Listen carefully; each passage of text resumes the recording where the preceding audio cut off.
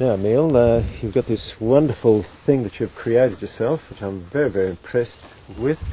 You might uh, explain where you, what, you, what you're trying to, what, what are you doing here, and the, the effect it's had on your animals, and Um, basically, it was to save. Initially, it was to save using chemicals as drenches.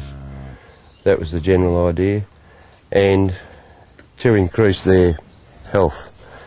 Um, I guess I got the original idea from a Pat Coleby article I read quite a few years ago, and uh, that's what I started off with. Just the um, the Pat Coleby mix, they call it now, I think, which was mainly dolomite um, seaweed meal, copper, sulphur. I think that was about it. But anyway, I've got a variety of things in there now, and uh, including the Pat Coleby mix, which is still there, although I did increase the seaweed meal.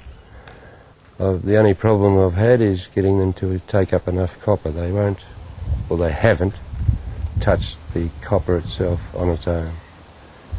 haven't touched it at all. Not that I know of. no. Right. I can usually tell when they've course. been at them.